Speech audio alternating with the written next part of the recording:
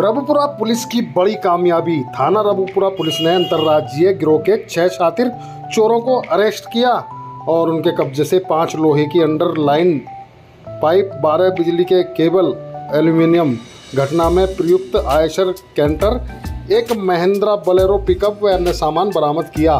देखें इस बारे में क्या बोले एडिशनल डीसीपी अशोक कुमार जी।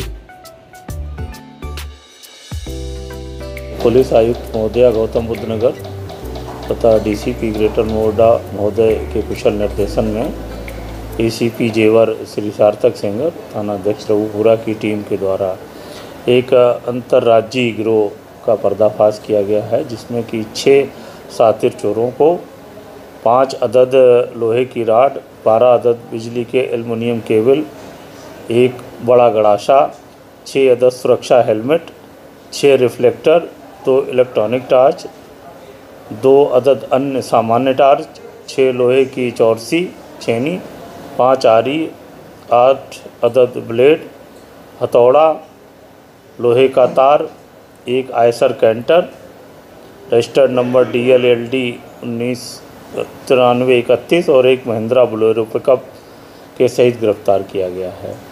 इस, इसमें एक जो मेन अभियुक्त है गैंग लीडर कुलदीप, ये लेबरों को पैसों का लालच देकर के इकट्ठा करता था और ये लोग साइट पर लेबर के रूप में पूरा ड्रेसअप होकर के, हेलमेट और जो अन्य साजो सामान था उसको लगा कर के जाते थे और वहाँ से बड़े बड़े पाइप कैंटर में लाद करके ले जाते थे। इसके अलावा इन्होंने अन्य कई जगह से भी इस प्रकार की साइटों से चोरी की है। इस ड्रेसअप में किसी को ये शक नहीं होता था कि ये फैक्ट्री कर्मचारी नहीं है और ये फैक्ट्री कर्मचारी बनकर के ही वहाँ से चोरी करके और कई जगह इनकी बिक्री करते थे। इन्होंने ना छे, यहाँ पे बल्कि आसपास के जनपदों में तथा दिल्ली के कई पास इलाकों में भी चोरियाँ की हैं।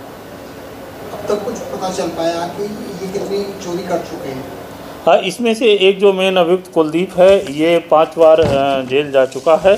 अन्य का जो है आपराधिक इतिहास हम लोग संकलित कर रहे हैं। इसमें से कुछ दिल्ली से भी जेल में गए हुए हैं। अपने यहाँ की कितनी चोरी कलेक्ट अपने यहाँ की जो चोरी मेन चोरी इन्होंने पाइपों की की थी और जो छोटी छोटी चोरियाँ की थी उन सबको कनेक्ट कर लिया गया है।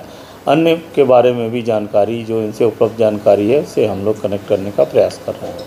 जो गैंग के अन्य सदस्य इसमें बातचीत? इसमें अभी जो जानकारी हम लोगों को इनके द्वारा उपलब्ध कराई गई, उसमें से जो गैंग के कई सदस्यों को हम लोगों ने एक साथ ही गिरफ़्तार कर लिया है। इनके पास से जो अन्य जानकारी मिली है, उसके आधार पर हम इसमें और भी सूचना संकलन कर रहे हैं और शेष सदस्यों के विरुद्ध भी कार्रवाई की जाएगी।